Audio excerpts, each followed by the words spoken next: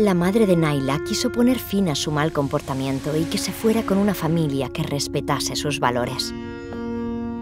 Intentó decir no, pero no tuvo otra salida. Y sus padres organizaron una boda pocos días después de que cumpliera 18 años.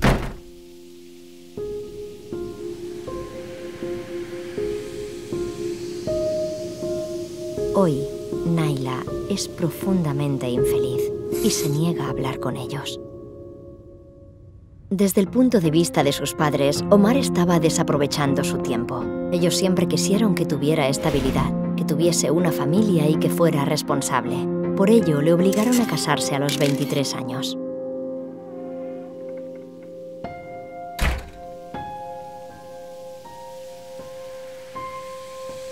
Desde entonces está enfadado con toda su comunidad y ha cortado lazos con cada persona.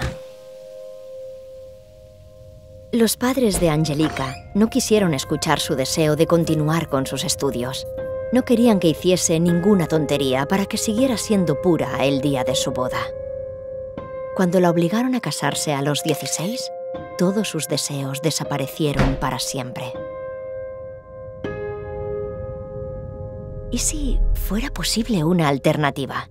Naila ha comenzado a trabajar vendiendo joyas tradicionales. Ahora está al lado de un hombre que ella ha escogido y se apoyan mutuamente. Omar ha vuelto a estudiar y se lo toma muy en serio. Está ayudando a su padre a desarrollar su empresa de construcción. Angelica continúa con sus estudios a la vez que pasa tiempo con su hermano pequeño. Y en la actualidad, ella es el orgullo de sus padres.